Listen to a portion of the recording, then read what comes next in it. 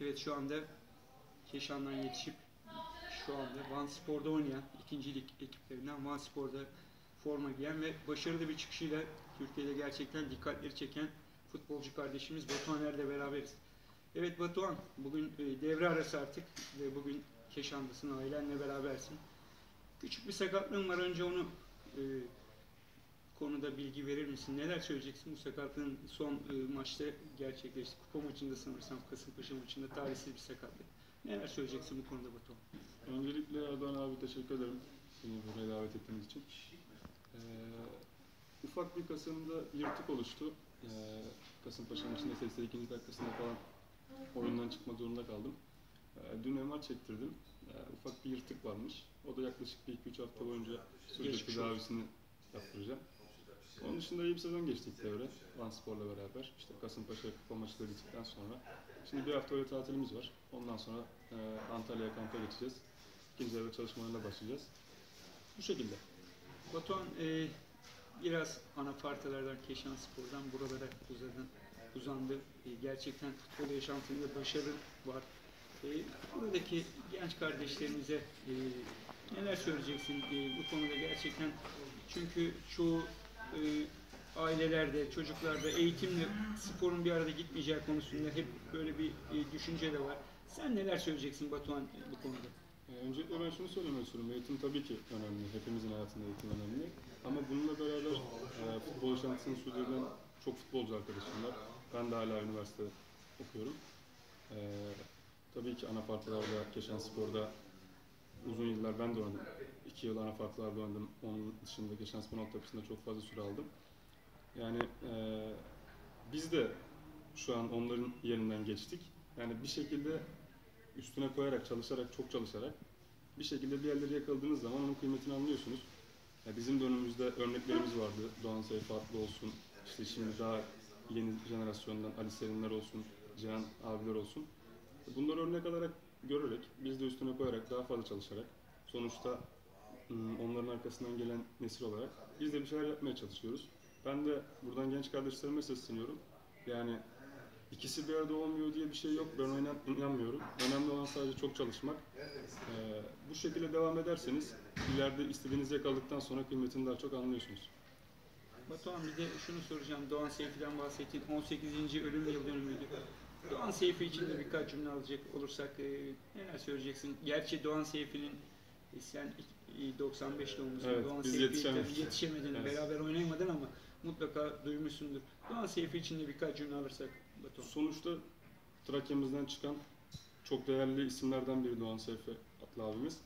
Ee, çok da büyük bir başarı yakalamıştı. Yani Beşiktaş'a transferi Evet. vardı abi sen de biliyorsun. Evet. Ee, onu da saygı ve rahmetle anıyorum.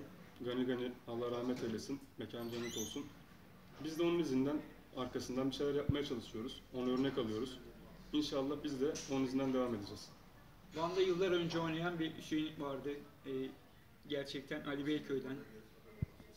E, Fenerbahçe, Fenerbahçe'den Van'a uzanan bir yolculuğu vardı onun da. Hüseyin abim de orada oynuyordu. Yani ikinci bir Keşanlı, Vanlı Keşanlı. E, Batuhan Er var. E, Batuhan yani bu tür e, neler söyleyeceksin? Şimdi Trakya'da bir de biraz futbol değerlendirecek olursak Keşan Spor işte kapandı. 4 yıl bir lige katılamadı. Şu anda bir en azından sahip çıkıldı bir biraz olsun hareketlenme var. İkinci amatörden başlayacak ama büyük bir yükün altına girdi yönetim. Gerçekten Nehir Gergin Başkan ve diğer yönetim kurulu üyeleri.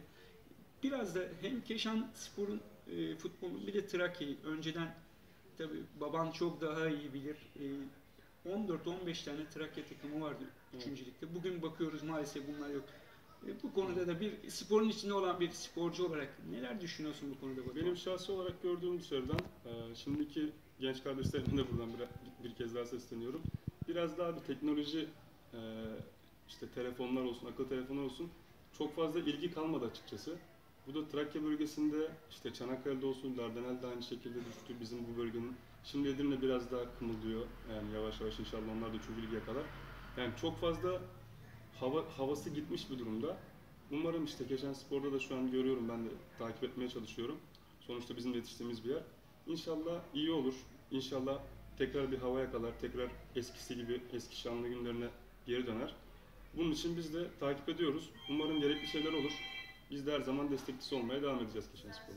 Batuhan Keşan'a gelmişken bir de Keşan Spor'daki, Keşan sporlulara, Keşan'daki sporla ilgilenenlere, Keşanlara, hemşerilerine neler söylemek istiyorsun Batuhan? Şöyle kameraya bir bakarak biraz da şapkanı kaldıralım lütfen. Seni de Evet. görmek istiyorlar o şapkanın altında Evet, aslında. sıkıntı yok abi. Ya şimdi abi işte biz de sonuçta buranın insanıyız. Evet. Ee, Van'da bir şekilde temsil etmeye çalışıyoruz. Yani çok güzel bir duygu. Keşan'dan inşallah bizim arkamızdan da genç kardeşlerimiz de çıkar. İnşallah ileride biz de bir müddet sonra onları bu şekilde konuşuruz. Biz de onlarla bir şekilde otururuz. Bu, bugünleri yad ederiz. Hepsine sesleniyorum dediğim gibi yani burada çok çalışarak bir yerlere gelinebilir. Sadece getirmemek de lazım yakalanan bir yerle. Ee, oraya yakaladıktan sonra üstüne daha da fazla koyarak Keşan'dan da çıkar, yakın çevremizden de çıkar. Trakya insanın bu futbol şeyine çok meraklı kardeşlerimiz var. Bizim zamanımızda da çok yetenekli arkadaşlarımız vardı. E, Ama işte dediğim gibi abi en başında sürekli çalışmaktan geçiyor. İnşallah bunu yakalayan kardeşlerimize dediğim gibi ben de yardımcı olurum. Gerekirse yazın buraya geldiğimde de çalışmalarımız da olsun, konuşarak da yaparız bunu. Önemli olan dediğim gibi çalışmak, çalışmak, çalışmak. Batuhan 2019'u bitiriyoruz. Bir de yeni yıl mesajı. 2019 artık son günlerinde yaşıyor. Gerçi e, bugün ayın e, 19'u E, ama tabii bir daha seni yani yıl sonuna kadar burada göremeyeceğimiz için Evet. bir yeni yıl mesajını da alalım Batuhan. Herkese şimdiden yeni yılda sağlık, mutluluk, huzur diliyorum. Umarım 2020 hepimiz için başarılı, güzel, sağlıklı bir yıl olur. Ee, ben tabii Antalya'da kampta olacağım abi. Umarım buradan bütün keşanlara selam söylüyorum. İnşallah hepimizin gönlüne göre olur. Evet sevgili izleyenler, Batuhan'la böyle samimi bir röportaj oldu. Batuhan benim kardeşim ve biz e, onunla gurur duyuyoruz gerçekten. Keşan'ı en iyi şekilde temsil ediyor ve bizlere e, bu imkanı sağladığı için de kendisine teşekkür Ben ediyoruz. teşekkür ederim. Hepinize iyi akşamlar Hayırlı sevgili akşamlar. izleyenler. Sağ olun.